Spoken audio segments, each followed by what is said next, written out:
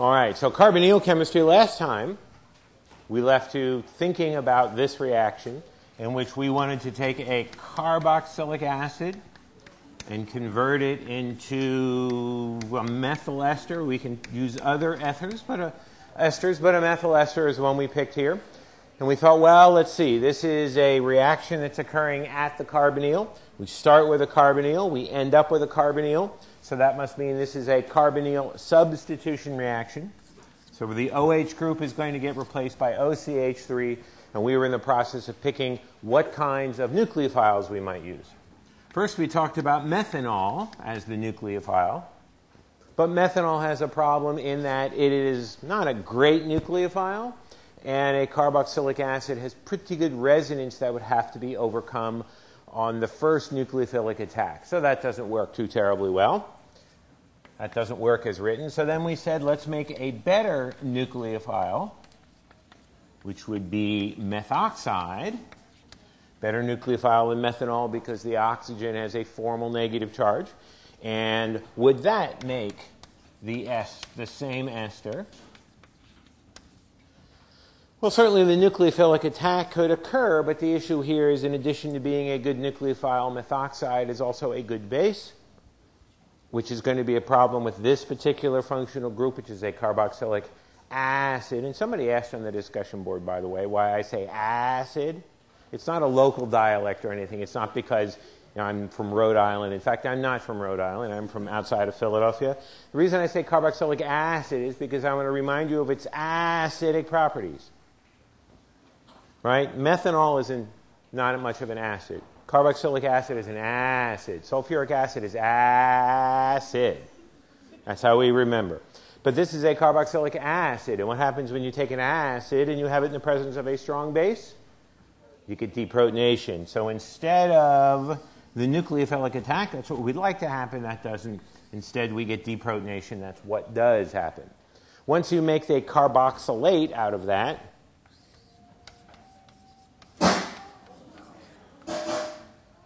once you get the carboxylate, you get feedback from the microphone, and that's why the reaction can't proceed.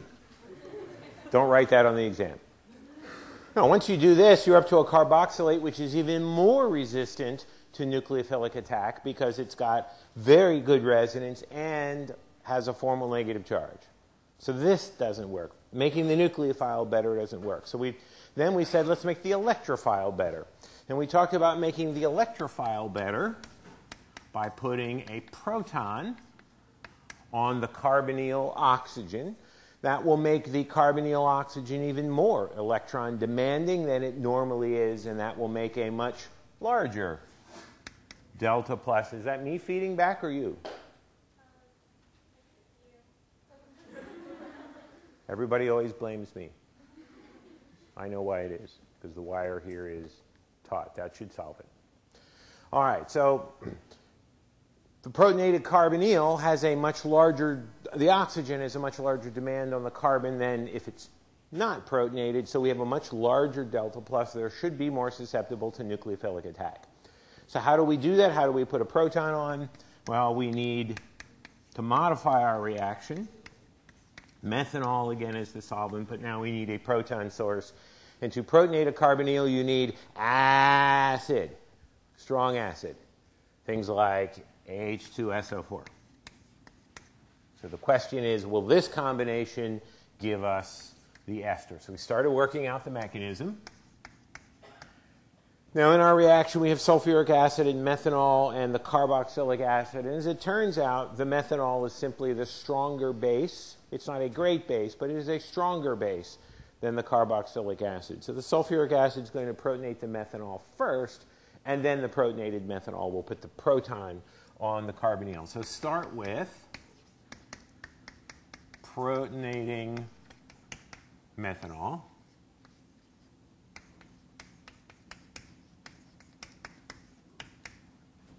And then the protonated methanol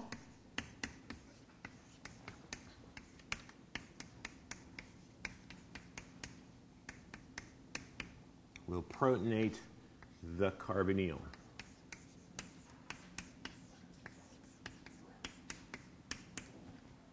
Now, you may already begin to see what the methanol is doing here. It is shuttling the proton around. We said last time that a number of carbonyl mechanisms have a small molecule like water or methanol, something like that, that shuttles the proton around.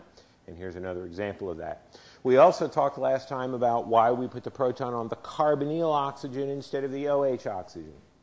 Not because we simply want it to be there, not because we said, that's where I want the proton, so that's where it goes because things don't always work that way. How many times in your life have you said, I want something and it didn't happen? Right? When you were two and you stomped your feet because you wanted a bicycle for Christmas or a pony. Did you get one? No. And no matter how much you stomped your feet, you still didn't get a pony. Probably the more you stomped your feet, the less you got a pony. I want a pony. Well, it doesn't work that way. It's not what you want, it's what Mother Nature wants. Now, it turns out putting the proton on the carbonyl oxygen is easier than putting the proton on the OH oxygen because putting the proton on the carbonyl oxygen, as we saw last time, leads to an oxonium ion that has resonance delocalization of its positive charge, not if we put it on the OH. So it goes where we want it to go. That's good. Mother Nature is going to cooperate with us. Now, what are we going to do next? That's the point where we were last time. Hint this is a carbonyl substitution reaction. And there is one mechanism step that every single carbonyl substitution reaction has, and that is nucleophilic attack on the carbonyl. So when in doubt, let's do that. Now I also want to point out another way, or remind you of another way to think about doing mechanisms.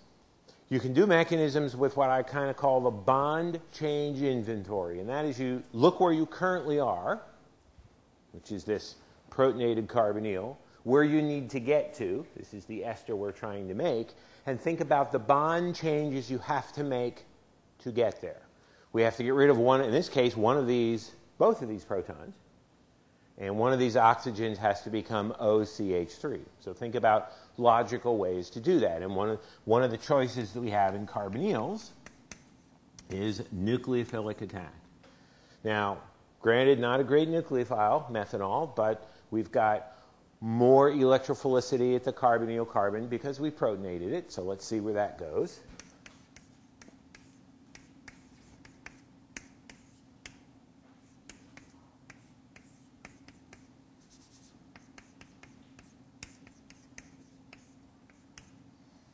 Oxygen here now has a positive charge because it started as neutral and it gave some electrons away.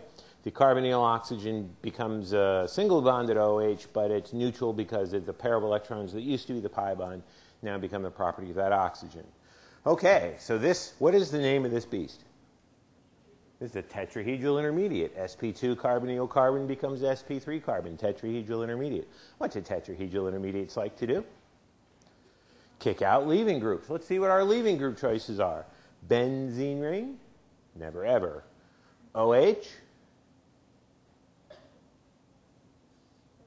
Do you see an oxyanionic tetrahedral intermediate? Remember what the rule was? It has to be a negatively charged tetrahedral intermediate to kick out an O minus. No negative charges here. O minus, OH minus can't leave. So OH minus can't leave. Methanol. That's the best leaving group. So this tends to go backwards. That doesn't mean the mechanism never moves forward. It just means that the methanol is frequently leaving. Okay, so uh, ejection of a leaving group isn't going to move the mechanism forward, so what else do we need to do? Again, bond change inventory. What do we need to do? One of these OHs needs to go away, another OH needs to become a carbonyl, and down here we need to get rid of the proton and the positive charge. We have three things to do. Do we necessarily have to do one first? Right? When you have homework to do, at the end of the day, when you go back to your dorm room and you say, hmm, I have to do Chem 14D and math and physics, let's say. You have to do them all. Doesn't really matter what order you do them in, usually, right? You just pick one and do it. Well, sometimes that's the way it works here. We pick one and do it. See, see what happens. Now, there is one guiding principle we should pay attention to, and that's we're talking about getting rid of an OH, and we can't get rid of an OH uh, we can't get rid of OH minus because this isn't negatively charged. So we might protonate one of the OHs to make it leave, but then that's going to put a positive charge. And we'll have two positive charges close to each other. That's bad. We want to avoid that. So with that thought in mind, what should we do? Deprotonate? Okay, fair enough. What, what and what, what should we deprotonate and what do we deprotonate with? You want to deprotonate the O plus? Why not deprotonate one of these guys? When you're doing, when you're taking a proton away, so when this molecule is going to be an acid, if this molecule was just molecule X and it had two protons, call them A and B, we would take proton A away because proton A is the most acidic, right? Do the most acidic protons first. It's like if you have bases around, use the strongest base. If you have acids, use the strongest acid. So which proton in this molecule, OH, OH, or OH plus, which one of those is, wants to be taken away? Which one's most acidic? The OH plus, right? Taking that away gives neutralizes a positive charge. Okay, that's the acidic proton. What should I deprotonate it with? I need a base. How about hydroxide?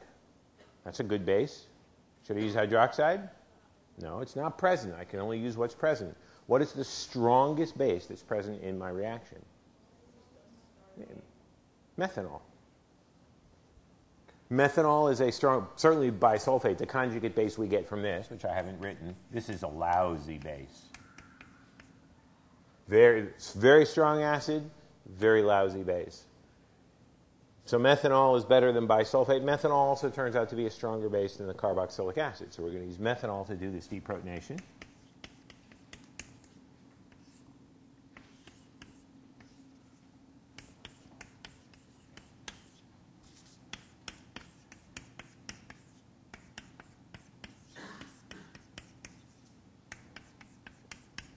And that makes protonated methanol again.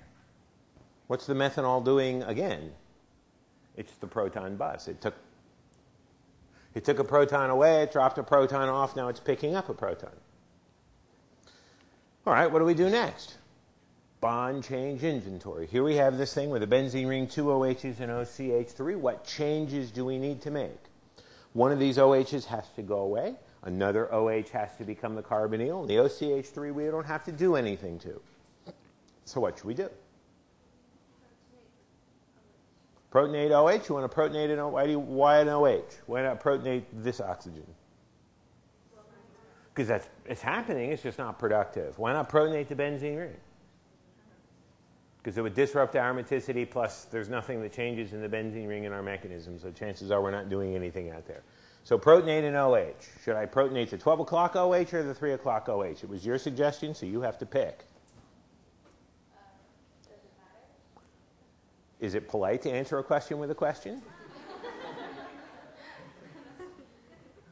Your question, though, is correct. It doesn't matter. They're both OHs. Just because one's pointing up and just because one's pointing up and one's pointing to the right doesn't matter. So I'm just going to use this guy here. What the heck?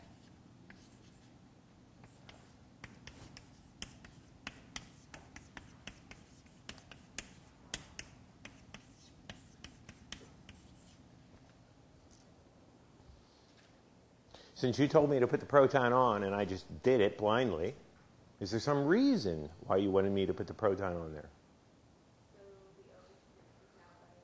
Yeah, so the water can leave. We need one of these OHs to leave, but it cannot leave as OH minus because this isn't negatively charged. So we make it into a better leaving group. Now, what do you think we should do next? Here's a way to think about it. Imagine you're in a relationship that you want to get out of. So while the other person in that relationship is gone to work or school or whatever, you pack their bags, put them outside the front door to the apartment, and change the lock on the apartment. So when they come home, they rattle the door and go, Honey, I can't get in. I want dinner. They're not getting the hint, right? You've packed their bags. Now they should leave.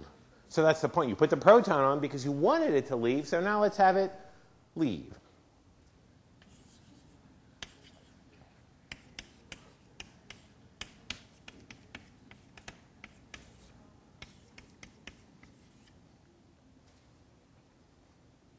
And now we have a molecule of water.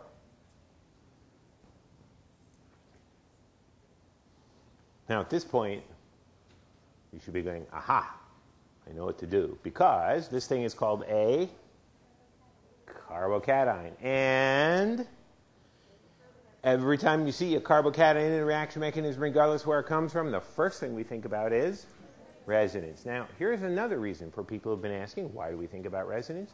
Is because of this. Let's just draw a resonance structure, a resonance contributor. Let's say this one.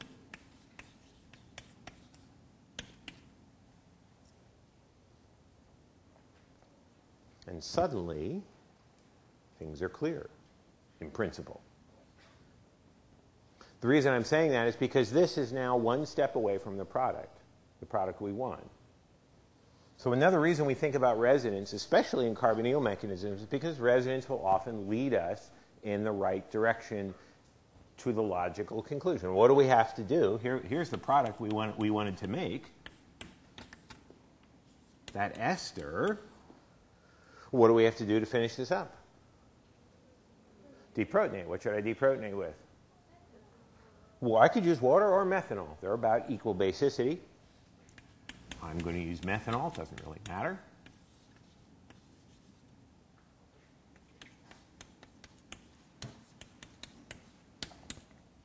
So there is our product, the ester, plus the protonated methanol.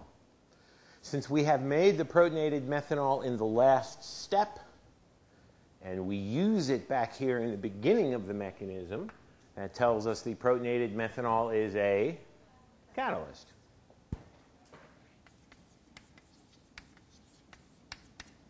Now you might say, wait a minute, how can it be a catalyst? Because it's not present in the stuff we mixed up.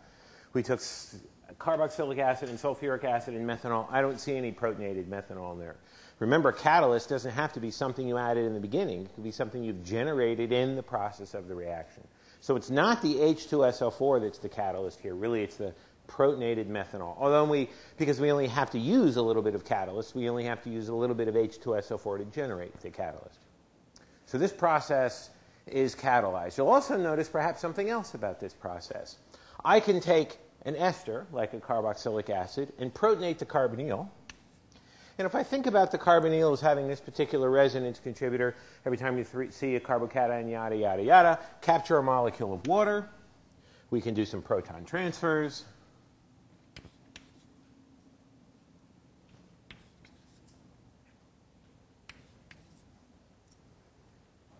In other words, the whole thing is completely reversible. Let me write that. Now, I'm going to write the whole reverse mechanism, of course. I'm just going to write the reverse reaction.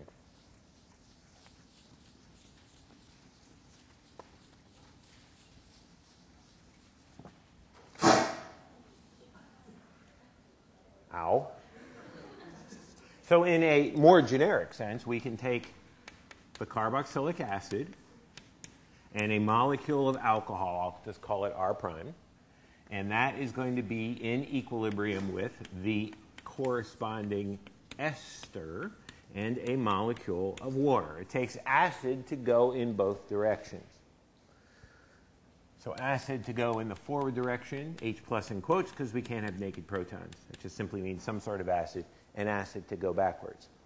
Now, first of all, let's talk about the position of this equilibrium. Is this an issue? I mean, if we wanted to make ester, could we just mix up some carboxylic acid and ethanol and expect pretty much all the carboxylic acid to be converted to the ester or not?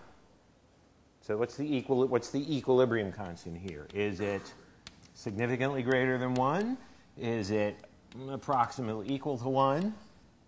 Or does it lie very much to the left? Remember, we talked about position of equilibrium. It's based upon stability, and the principal stability issue is going to be resonance.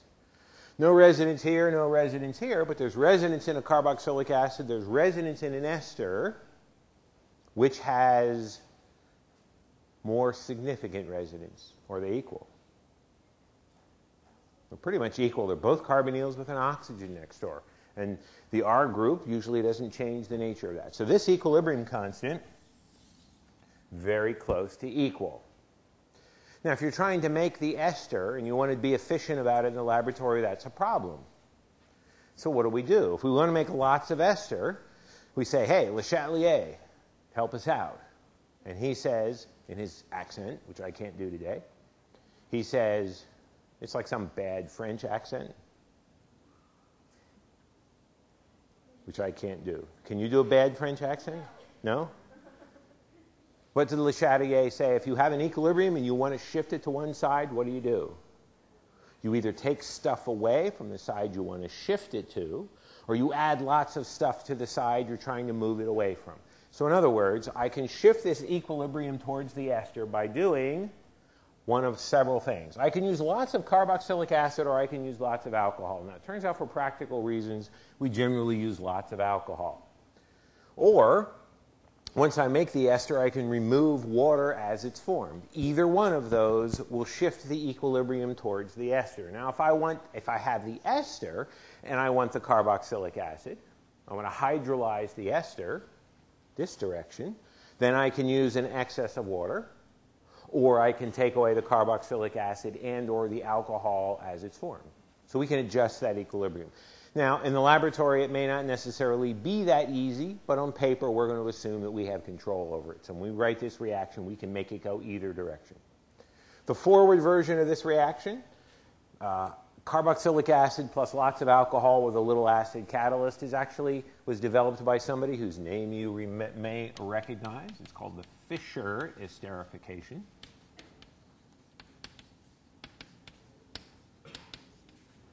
This is the same Fischer who won his Nobel Prize around 1908, I think it was, around then. That Fischer ring a bell to anybody? I'm sorry? This is the Fischer of Fischer projections. This is the Fischer of I'm going to figure out the structure of all the uh, mono or all the, all the monosaccharides, the aldoses is what he did. He was also involved with figuring out some of the initial ideas about DNA structure, figuring out what the purine and pyrimidine bases look like.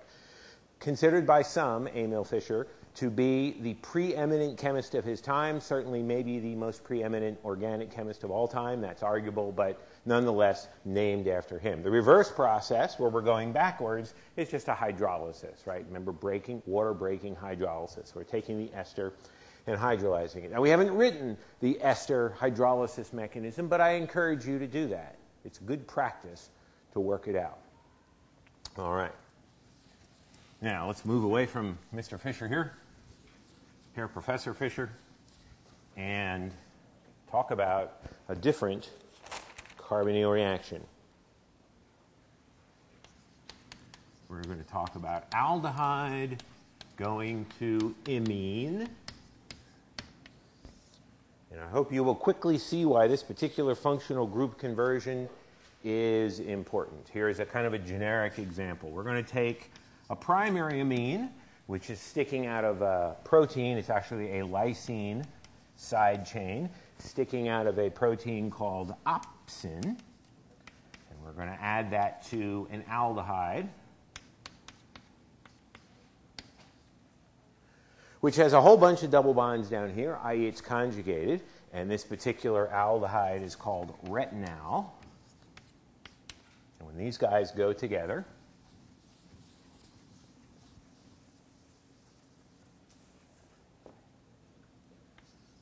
protein,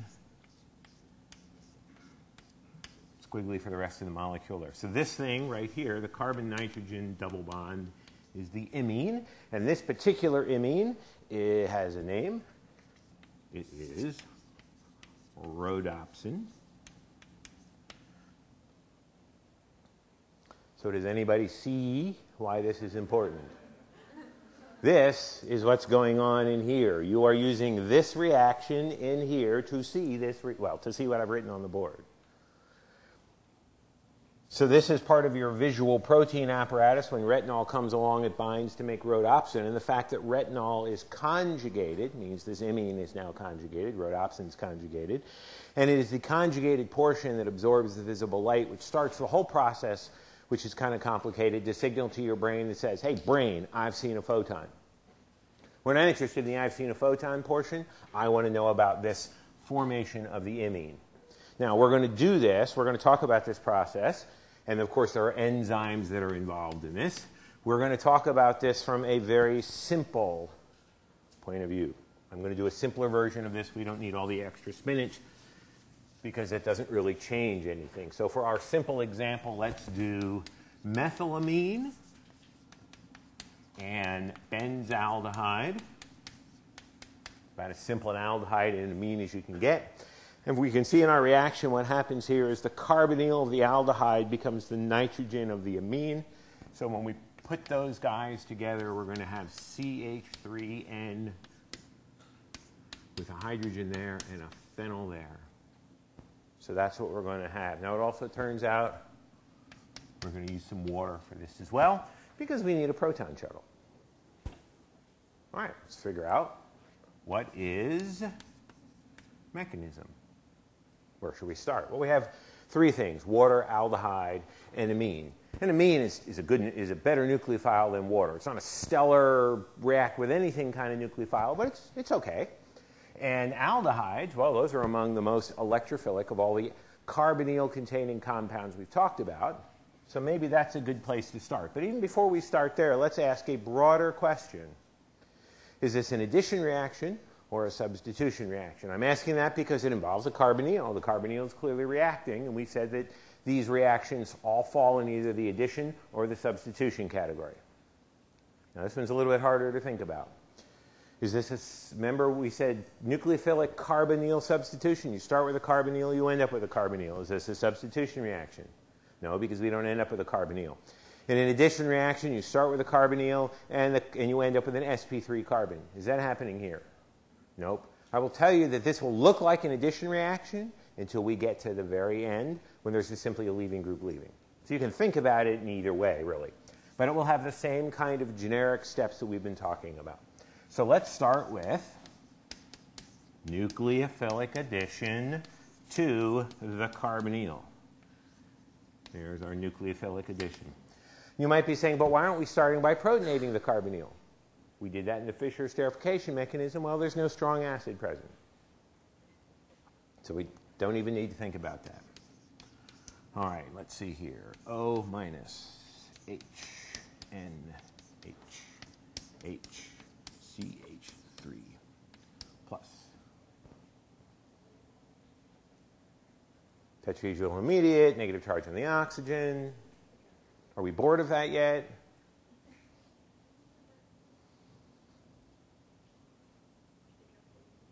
Tetrahedral intermediate, negative charge on the oxygen. What do we do?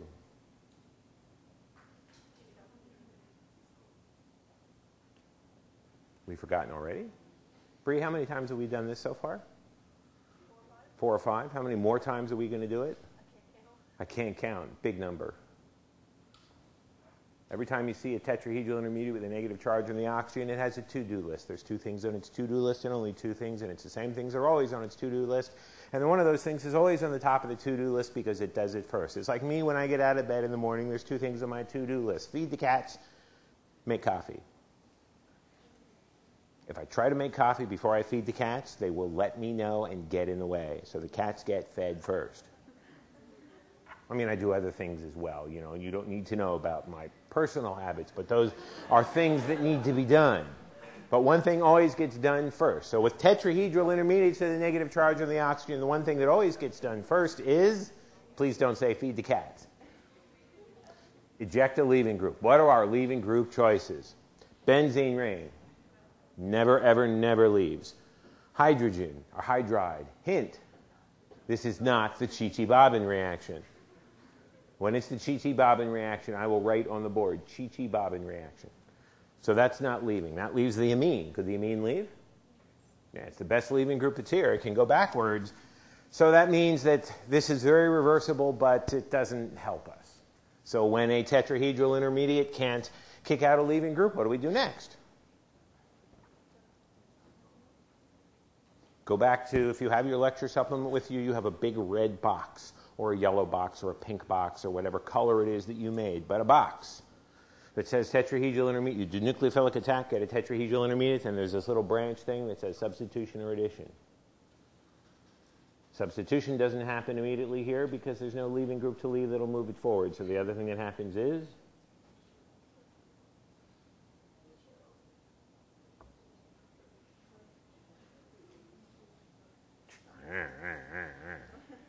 Have you ever tried to start a car on a cold morning? Right? You put the key in the ignition, and now people are looking it up. All right. You put the key in the ignition, and the car goes. Ah, ah, ah, Did you find it?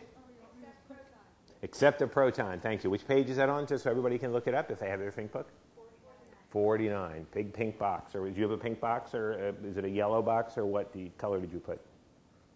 It's bla- that black works. All right, but it's a box. All right, so accept the proton, which we protonate it with. The strongest acid that's present is. Well, there's actually a stronger acid that's present. And ammonium salt's a stronger acid. So you might say, ah, let's just do this. But we're not allowed to do that. Remember? That's when Mother Nature says it's pretty, but it's wrong. You can't do these 1 3 shifts. So we can't take that directly. But if you can't take it directly and still need to move that proton away, you use the bus. What is the bus, do you think? Water works for the bus. Now, it doesn't really matter whether I put the proton on the O minus or take it away from the NH plus first. It doesn't really matter. It doesn't. It doesn't. So I'm going to protonate the oxygen first, just because I'm in a let's protonate things first mood.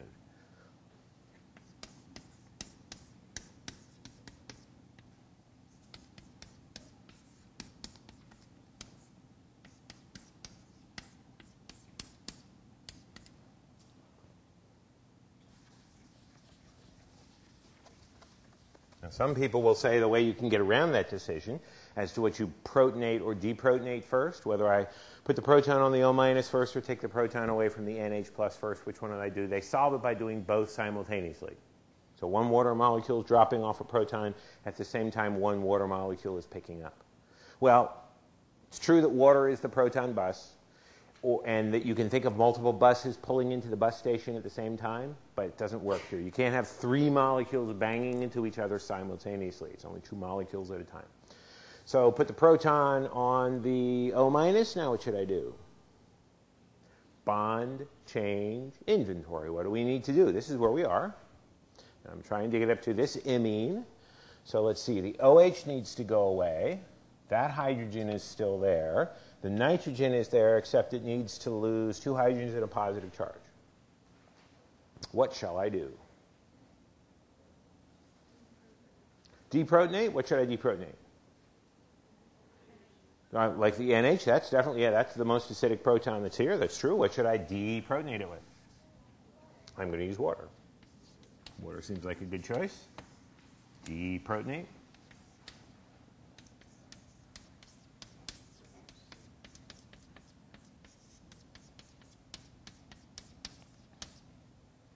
Oh, and now I have some H3O plus I've just made.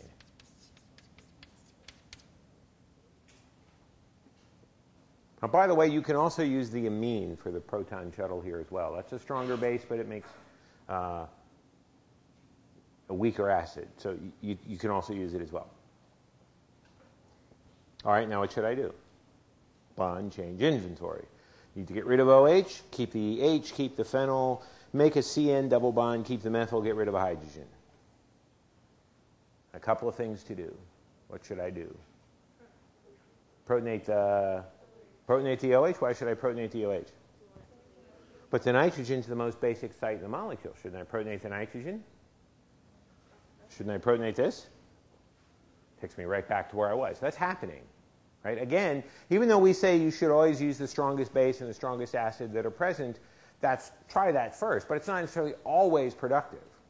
It means that just because the amine is a stronger base than the OH doesn't mean that the amine always gets the proton. It just means it gets it most of the time here. It's probably about a 5 to 1 ratio or something, or excuse me, a 10 to the fifth ratio. So occasionally the OH gets protonated, but that will move things forward. Okay, what do I protonate the OH with?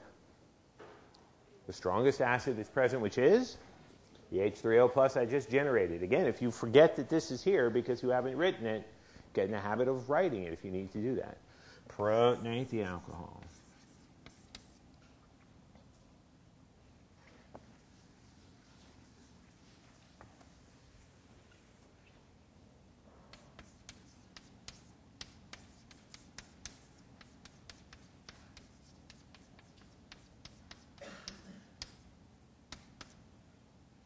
Here's our protonated alcohol.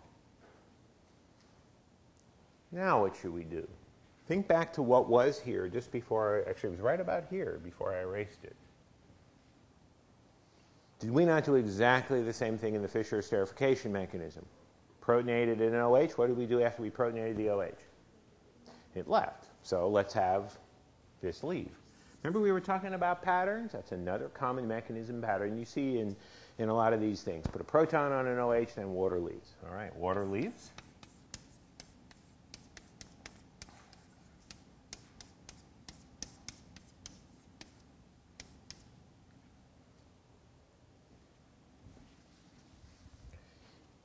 The departure of water made a carbocation resonance. All right. Benzene ring resonance, that's certainly there. Turns out not to be productive, but it helps, helps the water leave because it's next to the benzene ring. But it's the nitrogen resonance that's actually going to be productive. And by the way, you don't have to draw curved arrows for resonance in the mechanism. I've just included it here.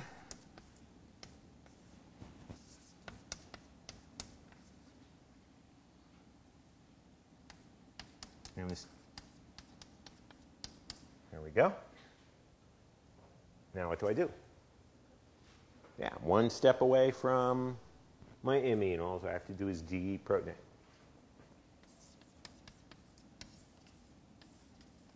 And that makes, I'll draw it up here for space.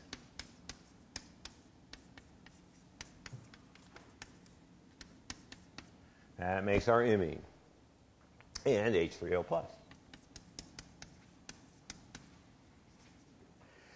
And you might, while you're at it, note that the imine nitrogen can be protonated to make a protonated imine or an iminium ion, which has resonance, which is a carbocation, which might accept a molecule of water. You probably know where I'm going with this.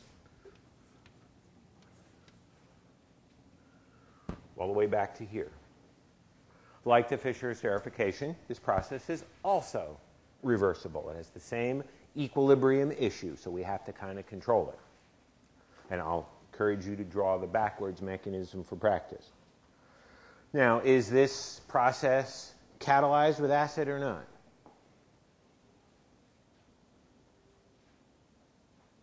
Well, let's see. I made acid in, well, here's water, right? And I made acid in this step, and I got acid back in the end.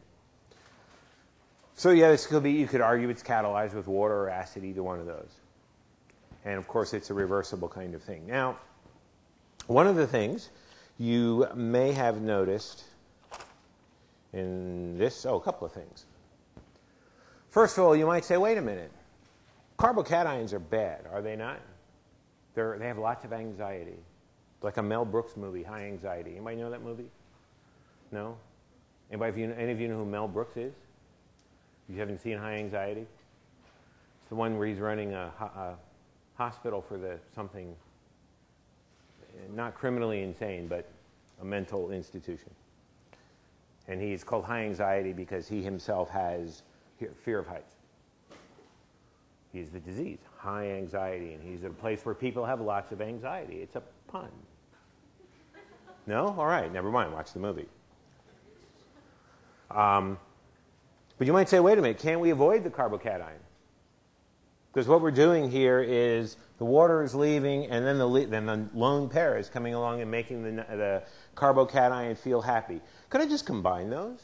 Could I just kind of use the lone pair to push out the water and get rid of the carbocation? In other words,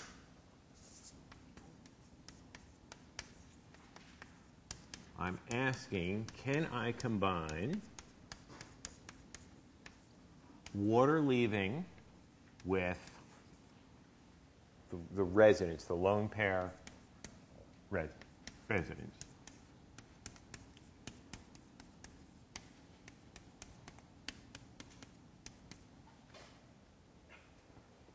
Is there a difference between this and what I've drawn over there?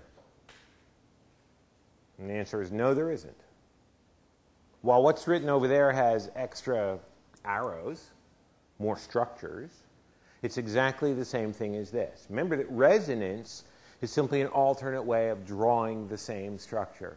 It's not a mechanism step. It doesn't take time. It doesn't have a transition state. It doesn't have an energy of activation. It can never be a rate determining step.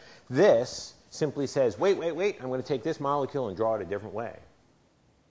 So I'm just combining the let's draw it a different way with the leaving group leaving. So that's a possibility. Now let's take that one step further in terms of combining. You might say, then let's make more microphone noise. Then let's do this. So let's go back to where we had the protonated, the ammonium salt, the protonated amine, and do deprotonation, kick out the water, or excuse me, form the pi bond and kick out the water all at once. So that leads to the same place.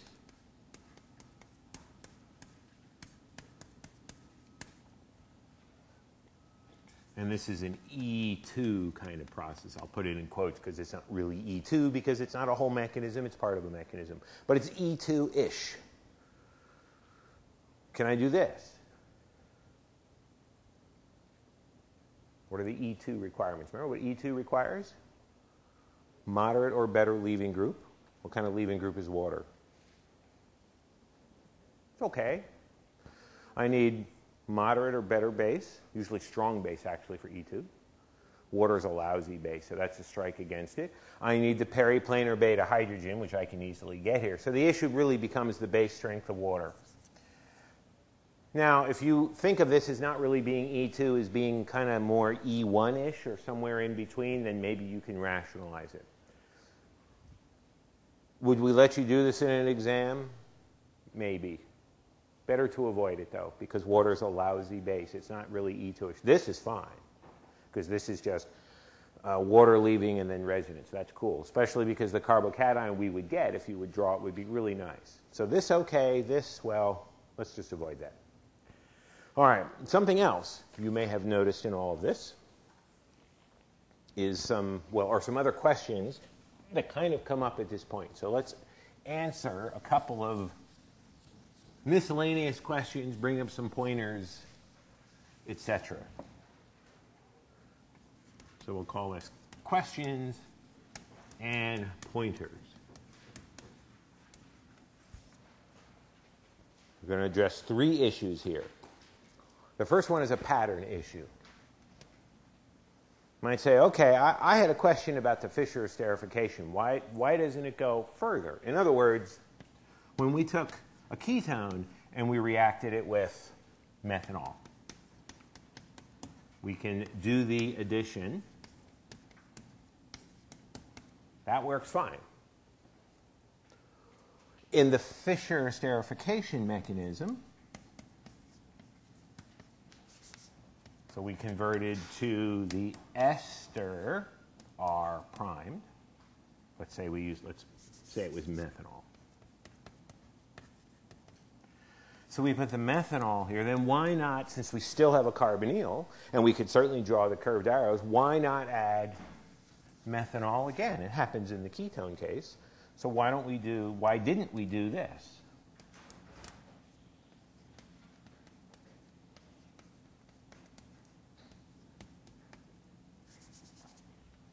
Happens just fine in the ketone case, although the equilibrium really favors the ketone, but it still happens. It doesn't really even happen at all in the ester case. So, what's different about the ester case? What does the ester lose in doing this? So, this really doesn't happen. What does the ester lose in doing this that the ketone does not? Resonance, right? There's this nice, wonderful resonance that's here, and this causes it to go away. Here in the Fischer esterification, we lose the resonance in the intermediates, but we get it back. Here, we don't get it back. So just because there is a carbonyl does not necessarily mean the addition is favored. Aldehydes and ketones it is. If there is lone pairs next door that do resonance at equilibrium, usually the addition not favored. It's very, when this happens, it's very reversible. All right, so that's issue number one. Issue number two is another kind of pattern issue. And I keep harping on uh, thinking about these carbonyl mechanism steps in terms of patterns. Perhaps in looking at the reactions we've talked about last time and today, you may have noticed that there is another pattern in the kinds of steps that occur in carbonyl mechanisms. Now, what I mean by this is not I have a carbonyl, it can accept a nucleophile, etc. What I mean by this is if you take all the carbonyl mechanisms that we've done so far, and the Fischer esterification and the imine formation are especially good places to look for this. You can take every single step that's in those mechanisms, every single one, and classify it in just one of three ways. So go back and look at the imine formation, go back and look at the Fischer esterification, see if you can think of those mechanism steps. And what we're saying here is every carbonyl mechanism that we do can be composed of just one of these three steps. Anybody have any ideas? Deprotonation, let's be one, just be a little bit broader than just deprotonation. Let's not, let's not discriminate against putting the protons on. Just proton transfer.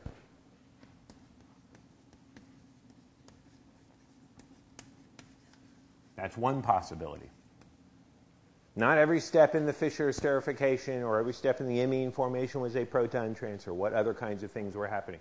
The very the second step in Fischer esterification, not a proton transfer. What was that? It's the same as the first step, different reactants, but name wise, the same thing as the first step in the imine formation mechanism. Yeah, nucleophilic attack at the carbonyl. Nucleophilic attack at carbonyl. Or for those of you who want to be PC, let's call that addition. Some people don't like attack, it sounds aggressive. You know, if the nucleophile is launching its missiles against the carbonyl or something. Three, Look at the Fischer esterification or the imine formation mechanism. For the steps that are not proton on or proton off, and that are not nucleophilic operation at the carbonyl, what's happening in the other steps? Leaving group leaving. What does it leave from? Carbon. What's the carbon part of? How many of you play charades? Longer term, more specific than just carbon. Ter, begins with a T, tetrahedral intermediate.